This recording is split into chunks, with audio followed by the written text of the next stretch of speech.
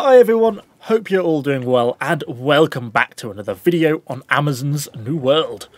So when I was doing my beginner's guide last week, I did say that I would actually go on to cover each of the weapons, which builds I would use with them and which perks I might recommend taking. Hmm, well, here we are. So I'm going to kind of broadly break this video down into three categories. Tank builds, DPS builds, and, well, the healer class.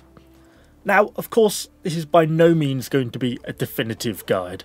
The fact that you can take two weapons, and in any combination, since there are no real sort of classes as such, means there are quite a few options and combinations you can pick from. You can also, of course, spec into what I'd call sort of a hybrid build, but you are going to lose some efficiency. And particularly if you're planning to get quite heavily involved in PvP, territory wars, you know, the, the, the guild war system to be owning land in Aeternum, then it is probably going to put you at somewhat of a disadvantage. And just for clarity, I would kind of consider a hybrid build to be something like taking the sword and shield as a weapon, but spacking your attribute points in it into strength for damage, or you know, a 50-50 split, rather than trying to focus on constitution to improve its tanking ability.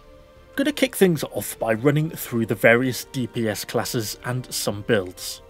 And I guess we probably shouldn't even be calling them classes, weapons would probably be more appropriate.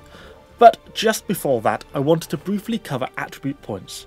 Because once you hit level 60, you're going to have 180 attribute points to spend. But you can expect to get at least as many again from gear, which is why getting the right gear can play such a huge part in the effectiveness of your build. It's also worth mentioning that basically, well, all of the attributes have a soft cap of 300. Beyond that, the extra points only make a very small difference, and there are no further perks to be gained. So generally, once you hit 300, that's the point you're going to be wanting to stop. And whilst we're touching on perks, yes, for every 50 points that you put into your attributes, you'll be getting a bonus perk. That's a bonus perk at 50, 100, 150, 200, 250 and 300 and yes, they stack.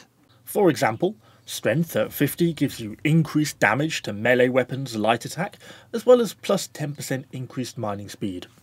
Then, say at 250, you continue to get stamina regeneration while performing light and heavy attacks, and so on and so on with all the other perks across up until 300. Now, in terms of how you are going to spend your attribute points, now I'm not going to give you um, an example of every possible combination for each class build, but instead I'm going to give you broad percentages of how I would aim to build a class. For example, if you are running a DPS class, then I would be looking to put around 75% of my attribute points into damage. So by that I mean strength, dexterity or intelligence, depending on if you're using melee weapons, ranged weapons or magic. I'm going to cover a little bit about how some weapons scale off two attributes, but for now, just think of these three attributes as damage attributes, just relevant to the melee range or magic, depending on which weapon you're going to be using. And then the remaining 25% of your attribute points are going to be wanting to go into Constitution. This really does kind of become a requirement because it gives you some element of survivability, some element of buffer to keep yourself in the fight and no DPS can just be an ultimate glass cannon because well, you just don't really tend to survive enough. You don't get time for your team's healer to get to you and keep you in the fight. So for a tank though, I would basically completely flip this on its head, with 75% of my attribute points going straight into Constitution. This is what's going to give you a really good health pool to work with. It's going to allow you to um, both well it doesn't allow you to increase the threat but it's going to allow you to draw the damage from the enemy bosses in the raids in the fights in the pvp battles and tank that damage and give your team's healer time to get you topped up and keep you in the game. And then i would only be putting you know around the 25% into damage because as a tank you're not about damage you're about absorbing damage. So your damage output really isn't that important. That's why i've gone so heavily focused towards constitution then finally, if you're going to be working as a healer, I think I'd be looking to go somewhere between 75 to 100% into focus. It depends slightly in my opinion on how involved in PvP and wars you are going to be. If you're just going to be running around doing PvE stuff, expedition, bosses, then realistically, you probably can get away with 100% focus. You can really avoid all the damage and keep yourself out of the fight, so long as you've got a good tank in your group who's going to keep that aggro, keep that threat, then you should be okay. But in wars, things do get a little bit more difficult. That extra 25% into Constitution can be really helpful in giving yourself sort of some element of buffer, particularly if the enemy team starts to focus you down. Anyway, that's enough talk about attribute points. Let's kick things off with the first weapon, and I want to start with the hatchet. A single-handed axe that actually fits in pretty well with a lot of other weapon builds, because not only does it have really good base damage, but with the Berserker Mastery Tree it also has a significant amount of sustain and self-heal. The weapon itself scales primarily off strength, with dexterity as its secondary, this, at least in my opinion, makes it one of the few weapons that are very viable to work with as a ranged secondary weapon because it has that high base damage. For example, you could run this with a musket and you'd spec your attribute points into dexterity. This would mean the musket gets maximum damage, and whilst the hatchet would lose a little bit compared to if it's scaled off strength, it would still be a very effective weapon. It's also one of the few weapons that scales entirely off of one mastery tree, rather than a combination of the two, which most of the builds here we're going to look at do. And that tree is of course the Berserker tree. Yes, you're losing out on any of the hatchet's ranged ability, but the sustain you're going to be getting from Berserker is hugely useful in keeping yourself alive in both PvE and PvP fights. This, combined with the great burst damage, makes it a really viable weapon in my opinion. For attack combination, you're generally going to be wanting to activate Berserker from the off.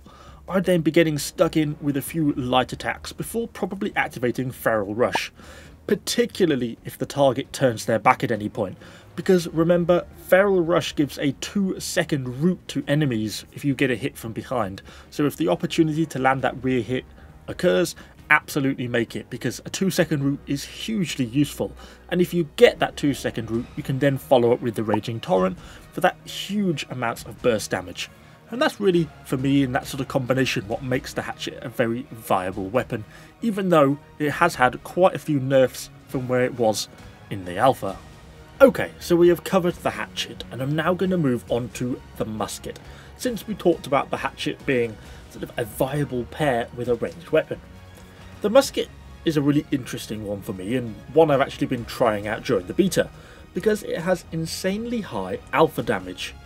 Yes, it shoots slowly, its actual base DPS probably isn't that high, but its range and lack of drop off is huge and it can take big chunks out of the enemy's health, particularly if you manage to hit headshots. For that reason, I've gone for the approach of only using two abilities here, with everything else in the Mastery tree being spec towards increasing that burst damage to maximising those big hits and hopefully occasional one-shots. The first ability is Powder Burn, which not only gives good base damage, but applies a 9 second ticking burn damage to the enemy, which is actually increased to 13 seconds in the event of a headshot. The second ability, Power Shot. This is going to give you 150% base damage, which gets even higher with a headshot and is just a great base alpha damage ability. Combination wise, I'm going to try and hit them with the powder burn first. Not only will this take a reasonable chunk of health out of them, but it's going to apply that burn damage. You know, if the enemy stops to heal to deal with that, then I'm going to be trying to go for that headshot with the power shot, which should hopefully do significant critical damage and maybe actually enough to finish them off. It may seem like this is kind of a not very well rounded build. It's quite niche, it's quite focused in what I'm trying to use it for, but I think that's what makes it work so well. And you're using this in combination as a secondary weapon. Yes, it's not the most rounded class, but what it does, it does it pretty excellently. Well, with the musket out of the way, I want to move on to the spear, a weapon I haven't actually yet used in the beta, but have previously enjoyed. It's capable of dealing pretty large amounts of damage in small bursts, yet also capable of locking enemies down with some of its debuffs. Interestingly, the spear actually primaries with dexterity, with strength as a secondary attribute. Abilities wise, I think I would be looking to make use of Vault Kick. perforate and sweep, you know, I'd be trying to use the vault kick to sort of stun and lock the enemies down to then really allow me to get much closer in.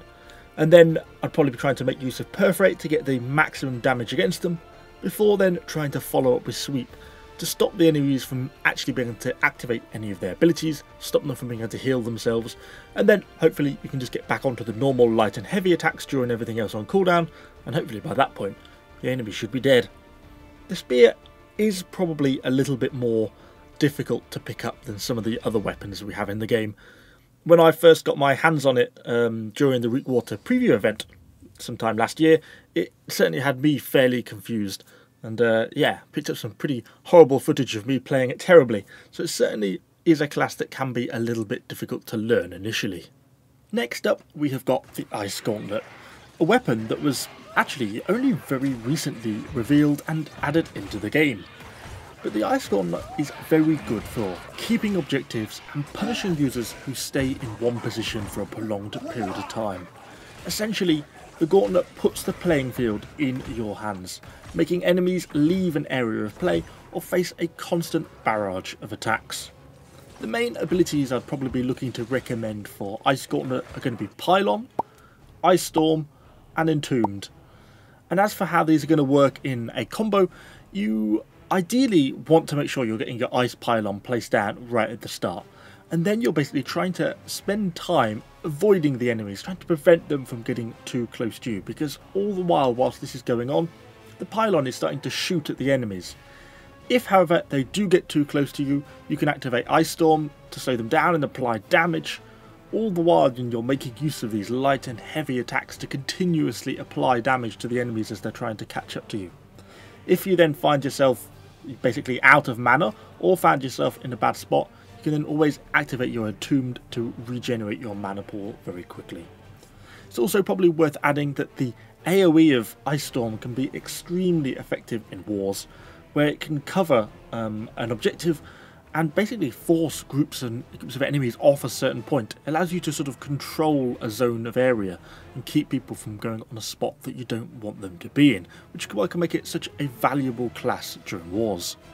I feel like the bow is a weapon that has kind of struggled slightly more recently in popularity. It's just not something that I've really been seeing that much used during the beta. But it can still be a hugely effective weapon in what it can do, and it's kind of like the ultimate fast-acting range DPS class, which can put out really good amounts of damage at range. Like the musket, the bow of course requires arrows, or ammunition in the case of the musket. So you've always got to have this stuff in your inventory, always make sure you are stocked up. But for the mastery build, I'd be wanting to use the abilities of poison shot, evade shot, and penetrating shot. Essentially, with the exception of the evade shot, you are always trying to make use of these highly damaging abilities. If the enemies stay in one place or run out of stamina, you should be using poison shot and penetrating shot to punish them for their mistakes. But if they start to bear down on you or get too close, making use of evade shot is a great way of breaking contact and sort of putting some distance between yourself and the enemy. It's also worth remembering that poison shot does have an AoE effect which can make it kind of effective against clusters of enemy. It can be a very effective weapon, the bow, and you're also trying to make use of you know regular light and heavy attacks and obviously trying to land those headshots when you can. The rapier can make for an absolutely fantastic DPS weapon, as it has really high crit chance rates and some pretty gnarly bleed effects which can take down enemies over time quite effectively, which means that, on paper at least, Rapier can really be one of the most damaging weapons in the game. Like the spear, the rapier actually primaries with dexterity, but instead has intelligence as its secondary scaling attribute. But in terms of the mastery abilities that I'd probably wanting to be used with the rapier, I'd be looking at Tondo, Evade, and Fleche. In terms of playstyle though, you're basically trying to initially make use of Tondo to slash and stab from a bit of a distance because it extends your blade, and trying to start applying those bleed stacks to the enemy. If the range gets closer, you can continue to follow up with light attacks until you're in danger, the enemy is trying to lock you down or trying to counter you, then you're going to be trying to activate your evade. This not only gives you the temporary invulnerability, but it's also giving you that sidestep to get yourself out of danger and dodge those enemies' abilities. If you then get an opening, you can follow up with Fleche to lunge forwards and get that stabbing, doing that really high base damage, going for that nice hit. Although, I guess it's also worth pointing out that Fleche can also be used just as an escape skill to put some distance between yourself and the enemy.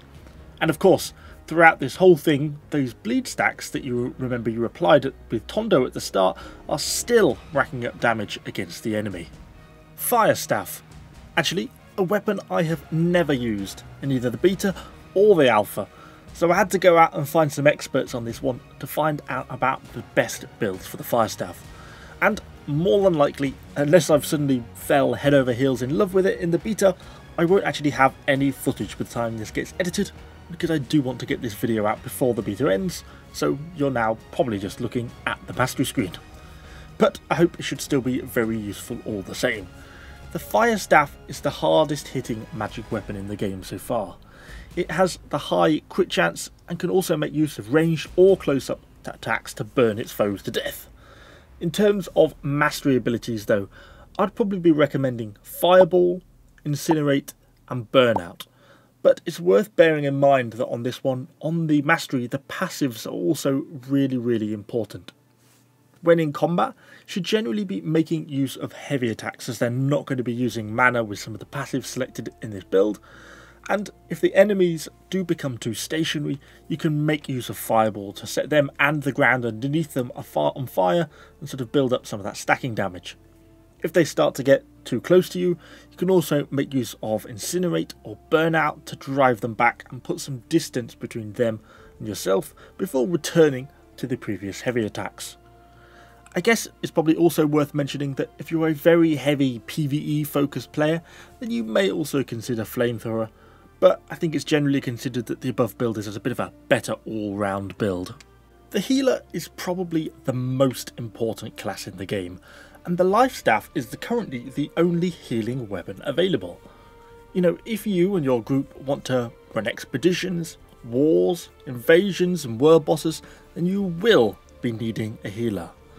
Whilst it's also one of the most thankless jobs in the game, it can also be one of the hardest, as you're trying to manage multiple other players at the same time, keeping an eye on not only their own health and adjusting your play accordingly to keep them all in the fight, and all the while you're also trying to avoid danger and trying to not get yourself killed in the fight yourself. But for weapon mastery abilities, I would be selecting Divine Embrace, Sacred Ground, and Beacon. But I'm going to go on to suggest two different playstyles for PvE and PvP healing.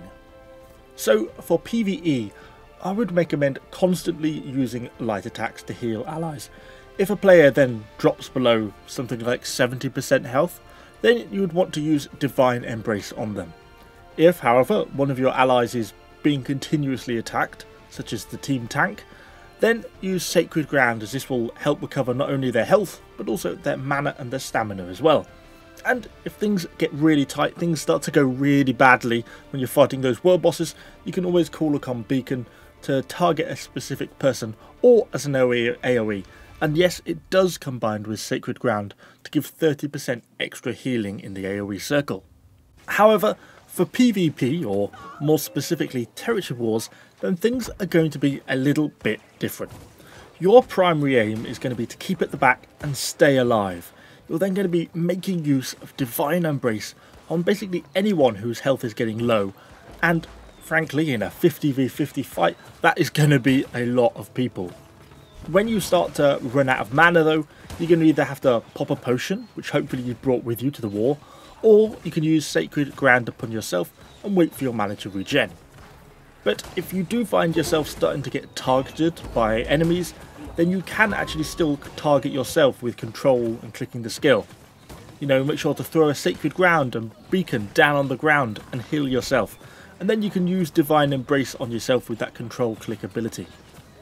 Healing is certainly one of the more challenging jobs in New World. But as I kind of mentioned earlier, it's also one of the most important and is absolutely critical for any group in either PvE or PvP combat. Being secondary to perhaps only healer, the job of the tank is hugely important in New World, and there really isn't a better weapon to use for it than Sword and Shield. It is the primary tanking weapon. It is the only weapon in the game that can block projectiles. Well, I guess at least the shield part of it does anyway. But it also produces a lot of threat, which means it is far easier the sword and shield to gain and hold aggro from enemies than any other weapon. This is, you know, going to allow the healer to focus on just one player rather than trying to manage a lot of them, and the DPS classes to safely apply their damage without being able to sort of quickly taken out by the bosses. The weapon itself scales primarily off strength, with dexterity as its secondary. And in terms of the mastery abilities you should be taking, Whirling Wind, Shield Bash, and Final Stand. And in PvE fights, you are constantly trying to gain and keep hold of the aggro from the enemy. You're using Shield Bash and Final Stand while making use of Whirlwind and light attacks to apply a little bit of damage, which in turn helps increase your threat and helps you to keep that aggro. This can also be bolstered by slotting a Carnelian gem on the sword, which also significantly increases threat. But your primary goal for the whole of this is to keep the threat, keep the focus of the enemies on you, so the rest of your team can deal with them. In PvP, however, things are slightly different. You want to be on the front line, getting close to the enemies, making more use of your heavy attacks. If advancing on range users, Make sure to use your block to reduce the chance of getting hit and taking range, dam range damage. And try and get close enough to make use of your shield bash, stun them in place before following up with heavy and light attacks to slowly chunk them down. It's not necessarily one of the most glamorous jobs in the game being a tank, but the sword and shield does it very well and it is a key part to any team. So we have two weapons left to go, Great Axe and Warhammer. You may be wondering why I left these two as the last of the two to run through, but it's because, in my opinion, they both make great secondary weapons for a tank. To take Warhammer first is great for locking down enemies and creating AoE, and it makes for a fantastic secondary weapon and can be swapped into stun, slow and knock down enemies. It's also worth pointing out that the Warhammer is only going to be scaling off strength, but in terms of the mastery abilities, I'd recommend you take Mighty Gavel, Shockwave, and Path of Destiny. You can then use Mighty Gavel to knock down your enemies, Shockwave to stun your enemies, and Path of Destiny to slow your enemies, giving you a really great amount of crowd control, which is why it's such a nice sort of accompaniment to the Sword and Shield, which has very little. I'd finally end on the Warhammer by pointing out that despite being very slow, the Warhammer's heavy attacks do hit super hard, so if you can land them, they are well worth using. And so last but certainly not least, we have the Great Axe, which, as I mentioned above, also makes for a great pairing with tanks, as the passive perks on the tree allowed you to build up and deal out damage to enemies who stay close to you due to the stacking damage per hit, so you're not really losing out much not having all your attribute points in strength. As with the Warhammer, Great Axe only scales with strength and should really be used to help along with the sword and shield to pull enemies towards you and away from the DPS and healers, locking them into combat. The mastery skills I'd recommend for this one are Charge, Reap and Maelstrom. The general combo for this or something like this would be Charge, followed up by a light attack, followed up by Reap, this is then pulling the enemies back towards you with your axe, keeping them in combat. Follow up with another lighter attack, followed up by Maelstrom, which is then going to suck your target back towards you if they're trying to escape again. And if, of course, if they're not trying to escape, you're building up this damage every time, really starting to apply a lot of damage to the enemy. Then, with all your abilities exhausted, you can just switch back to the sword and shield for more traditional tanking. And so, that's it. We have covered every weapon in the game so far although I'm sure they'll end up adding in more weapons in the future. I also wanted to say that this video is of course by no means exhaustive. There are loads of potential builds available in the game and multiple ways in which different weapons may be used well. I'd certainly recommend you go out and check out the New World Fans class builder that I used in this video, those guys did a fantastic job building that thing and it's super helpful for allowing you to test out different combinations, check out your attribute points, different mastery tree specs. Certainly worth checking out. I'll put a link in the description and the comments. Finally, I just want to give a huge thanks to Brefania and Talox for their help making this video. And if you enjoyed it and found it helpful, then please do let me know in the comments down below. And of course, subscribe to the channel as we have got so much more New World content on the way. Thanks for watching, guys, and I shall see you all on the next one.